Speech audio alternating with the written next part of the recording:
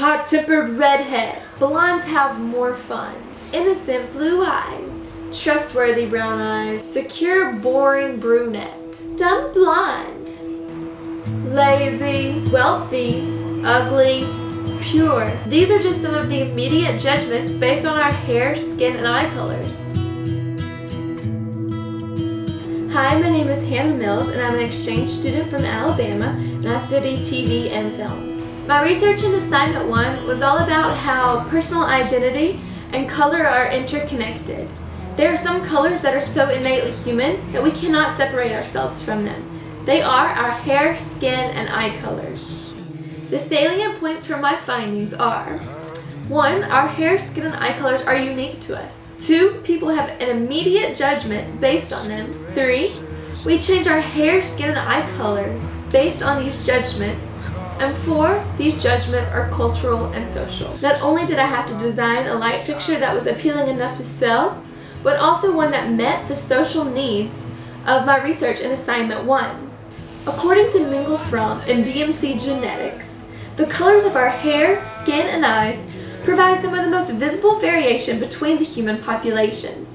As endless as our hair, skin, and eye color combinations can be, there are also stereotypes and attitudes associated with these different traits.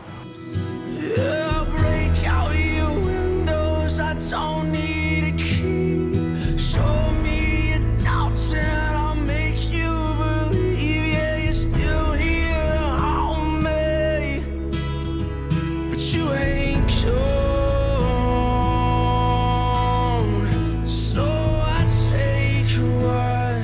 This leads humans, namely women, to change their appearance and their hair, skin, and eye colors in order to feel accepted by society.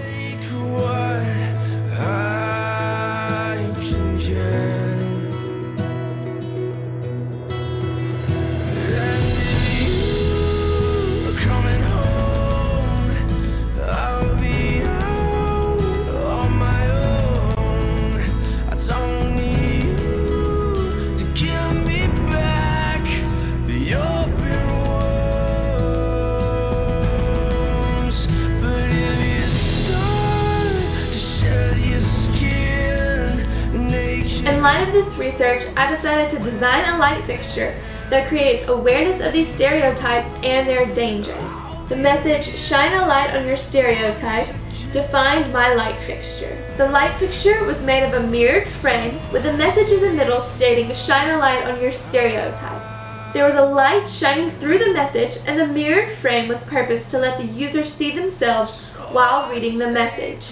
I think we'll break the stereotypes by the location that it is installed. The light fixture will be installed in a public place such as a makeup store or the hair product section at a department store or a tanning salon.